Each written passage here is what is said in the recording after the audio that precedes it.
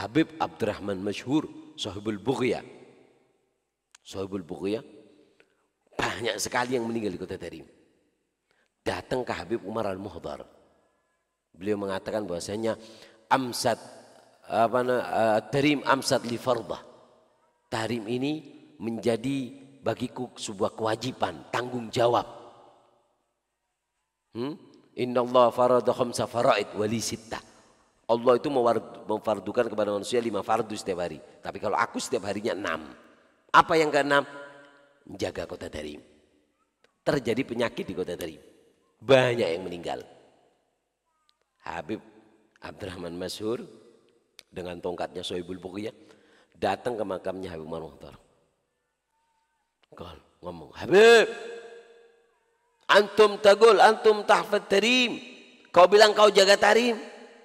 Kau bilang kau jaga kota Tarim. Kau bilang Tarim itu wajib. Ini banyak yang meninggal, Habib.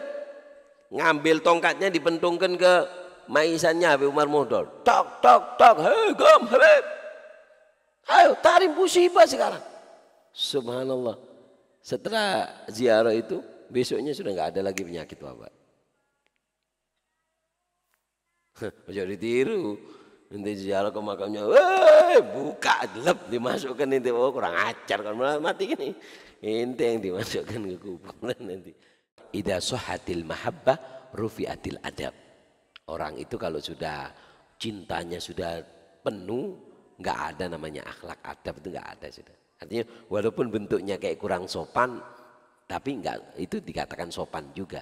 Ida soha. Kalau mahabbah sudah begitu kuat.